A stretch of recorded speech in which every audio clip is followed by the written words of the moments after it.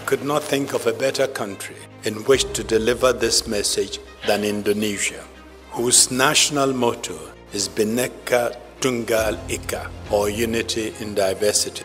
This great nation, made up of roughly 300 ethnic groups and more than 700 languages and many faiths spread out across a vast archipelago, is a heartening confirmation that pluralism can work.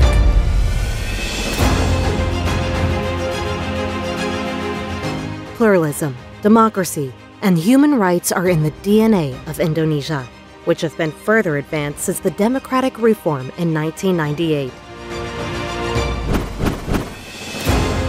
Today, Indonesia's democracy and pluralism are the drivers for social justice.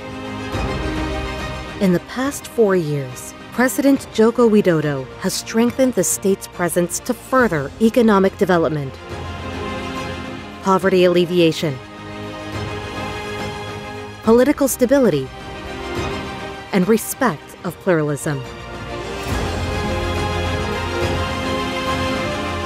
Our democratic progress is also driven by a holistic approach in women empowerment and through youth programs. Indonesia's pluralism is not given, but must be nurtured.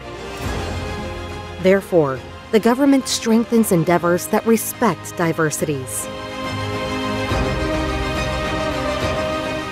On the same importance, Indonesia leads by example in advancing the regional cooperation in ASEAN that respect democratic values, human rights, and rule of law.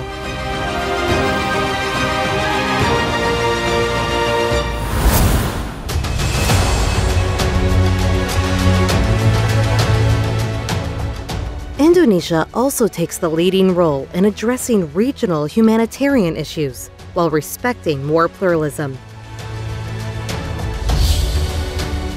In Myanmar, Indonesia is active in pursuing peaceful solutions by providing 4 plus 1 formula. Indonesia further promotes dialogues and sharing of best practices in the region. Through Bali Democracy Forum, that advances democracy as a strategic agenda in the Asia Pacific region, and interfaith dialogues with various countries.